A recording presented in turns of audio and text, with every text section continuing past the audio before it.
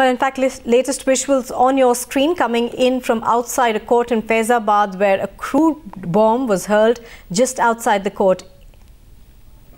Pranshu Mishra is on the phone line with more details. Yes, Pranshu, take us through what happened.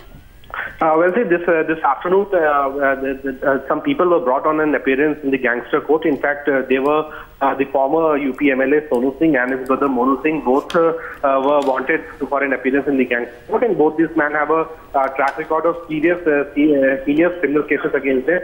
as soon as Monu Singh arrived at the gangster court, outside the gangster court, at least two unidentified people hurled food bombs on him, bombs on him, and in that incident, at least one person died on the spot. Monu Singh and at least three others were uh, critically injured and then uh, later on shifted to the hospital. But uh, at the time when this uh, this attack took place, uh, the guards accompanying Monu Singh also opened retaliatory fire, killing at least uh, one of the assailants on the spot. So clearly a very shocking incident where almost a gang war-like situation occurred on inside the court premises, which is in fact a highly secured area with lot of police presence there, and the judges were also there. So clearly at that point in time, this sort of an incident taking place, it's, it's clearly a statement on the law and order situation. But the police investigation so far indicate that the attack was uh, was masterminded uh, as a fallout of some sort of a criminal uh, rivalry between the two sides, and therefore this attack took place on Monu Singh. Uh, but uh, at this point in time, injured are being treated in the hospital. The entire area is being sanitized. Uh, further search operation is going on. If any more assailants is hiding out there,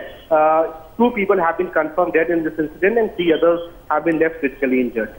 Now, Pranshu, obviously this does raise several questions about the security situation outside courts and also inside courts in Uttar Pradesh.